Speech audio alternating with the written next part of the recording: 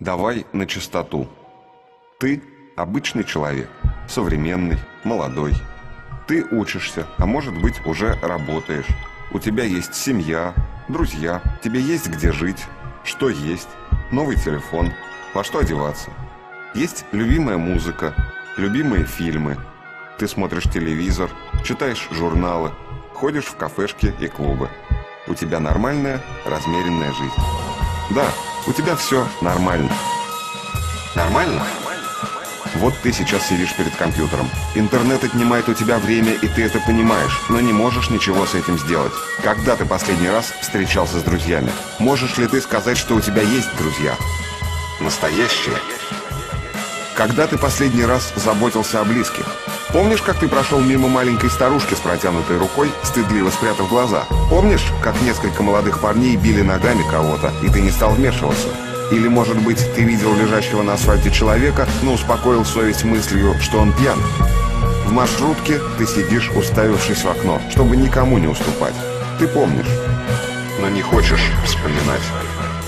Бездомные кошки и собаки, беспризорные дети, больные люди, воришка, который на твоих глазах украл кошелек. Все это не твое дело.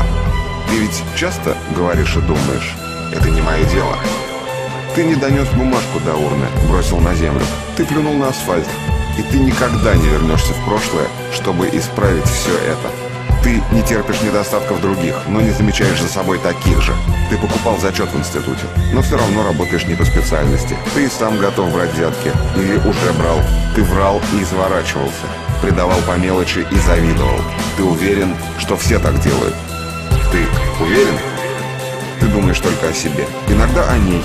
Ведь тебе нужен секс. Нужно вкусно жрать, сладко спать, красиво и дорого одеваться. Ты работаешь на нелюбимой работе. Конечно, это только ради денег. Ты собираешься начать писать книгу, планируешь заняться рисованием, фотографией или музыкой, путешествиями и, конечно, спортом. Но пока нет времени. У тебя ни на что нет времени. Диван и телевизор. Новая жизнь с понедельника. Признайся, сколько раз ты планировала ее начать? Ты пьешь алкоголь. Почти каждый день. Или в пятницу. Или потому, что у тебя хорошее настроение. А может быть, наоборот, когда тебе совсем хреново. Куришь сигареты. Не можешь бросить, но тебе стыдно в этом признаться другим. Ты не против марихуаны. Считаешь, что это не наркотик. А может быть, ты употребляешь что-то посильнее? Ты хотел бы другой жизни, но ты не думаешь о будущем. Даже о своем. Ты живешь сегодняшним днем. После тебя хоть потоп. Другие позаботятся о себе сами. Иногда ты жалел, что жизнь не компьютерная игра, где можно сохраниться или вообще начать заново. Ты наивно полагаешь, что все еще можно исправить. Что жизнь — это черновик. Твоя жизнь — черновик.